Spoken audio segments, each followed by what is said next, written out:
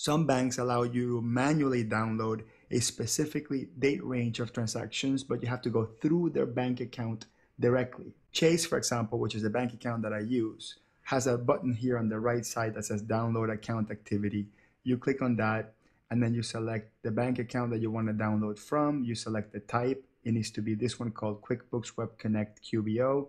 And then under activity, you have to choose the date range and you would pick, for example, let's say I want to do all of 2017, 01, 01, 2017, and then 10, 20, let's see what was the last one. It was the 23rd. So I want to download up to the 22nd, 2017. Now that's assuming that your bank actually allows you to pick a date range like that.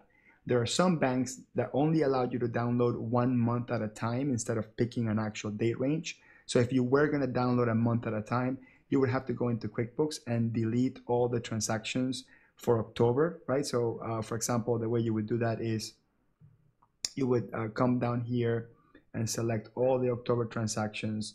You can click on all of them. It shouldn't be that many. You can also uh, shift click if you want to select a whole range.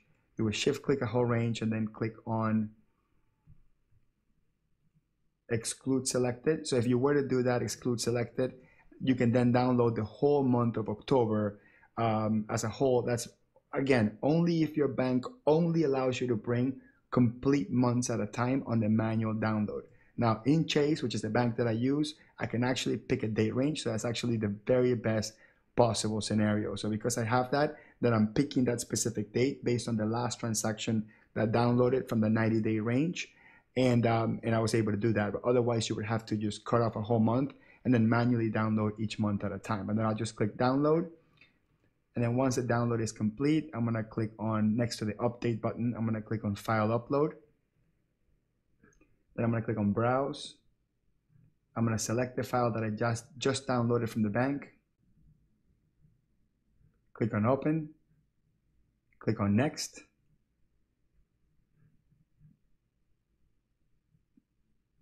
And select the bank account that I want to attach those transactions to. Click on next.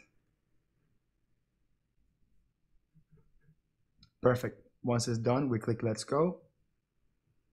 And we should now have all the transactions that we want. In this case, I got 1200 transactions in there. If I scroll down, I should see transactions uh, already for the entire date range. So once I click on next, I should see all my transactions in here, everything. I'm gonna click on last I should see everything from the beginning of the year.